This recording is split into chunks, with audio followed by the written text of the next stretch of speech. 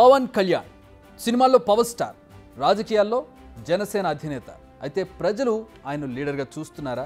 లేక ఇంకా సినిమా స్టార్గానే భావిస్తున్నారా? అసలు పవన్ తన ఫ్యూచర్ను ఎలా ప్లాన్ చేసుకున్నారు? ఒకప్పుడు తగ్గేదేలే అంటూ డైలాగులు పేల్చిన పవన్ ఇప్పుడెందుకు తగ్గారు?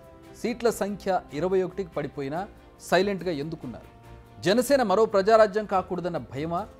తన అన్న కంటే తానే బెటర్ అని ప్రూవ్ చేసుకోవాలన్న తపన? రెండు వేల పద్నాలుగు ఎన్నికలు పవన్ కళ్యాణ్ పోటీ చేయలేదు. తన మద్దతును బీజేపీ టీడీపీ కూటమికి ఇచ్చారు. రెండు వేల పంతొమ్మిది ఎన్నికలు పవన్ ఒంటరిగా ఎన్నికలకు వెళ్ళారు. చాలా దారుణంగా దెబ్బతిన్నారు.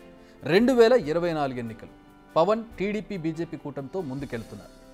ఏం జరుగుతుందో మరికొన్ని రోజుల్లో తేలబోతోంది. కానీ ఈ మధ్య జరిగిన ఘటనలు ఇప్పుడు ఇంట్రెస్టింగ్గా మారాయి. ఇప్పటి వరకు పవన్ను చాలామంది సినిమా స్టార్గానే చూస్తున్నారు. అదే ఇక్కడ సమస్య. ఒకసారి రెండు వేల పంతొమ్మిది ఎన్నికల టైంకి వెళ్దాం. ఆ ఎన్నికల్లో అత్యంత దారుణంగా ఓడిపోయింది జనసేన.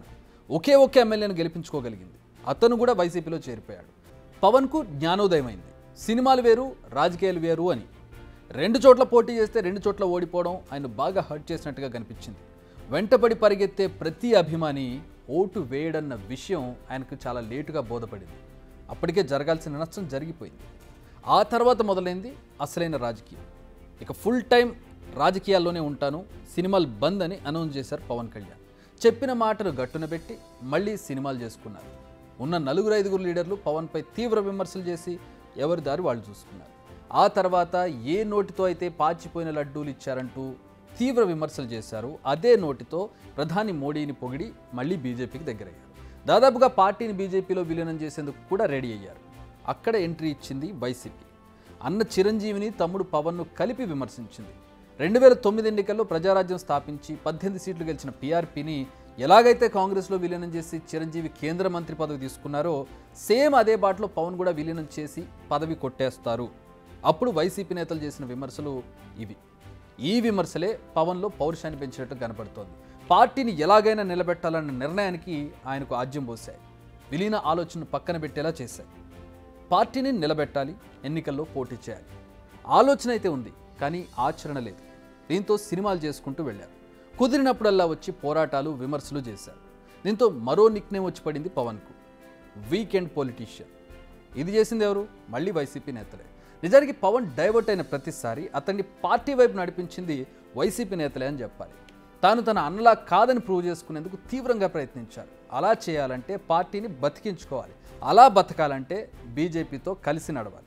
కానీ అనూహ్యంగా టీడీపీతో పొత్తు ప్రకటించారు పవన్.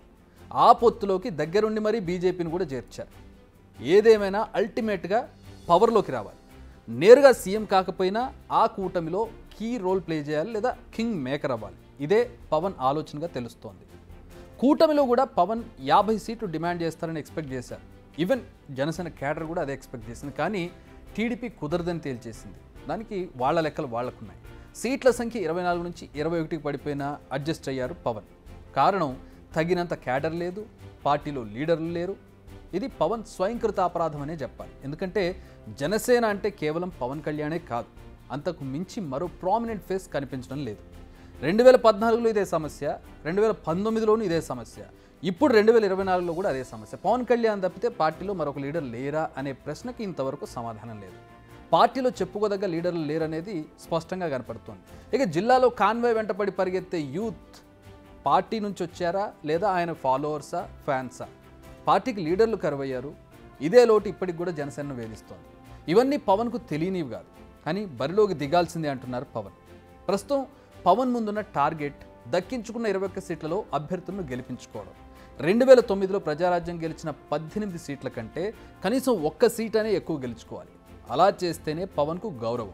అలా జరిగితేనే పవన్కు కూటమిలో గౌరవం దక్కుతుంది. అలా జరిగితేనే కూటమి అధికారంలోకి వస్తే ఆయన కీలక పాత్ర పోషించే ఛాన్స్ కూడా ఉంటుంది.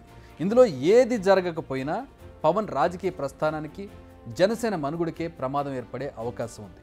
అందుకే ప్రస్తుతం ఎన్ని విమర్శలు వచ్చినా ఎంతమంది దుమ్మెత్తిపోస్తున్నా పవన్ ముందున్న ఏకైక టార్గెట్ ఈసారి జగన్ ఎలాగైనా పవర్లోకి రానివ్వకుండా అడ్డుకోవడం.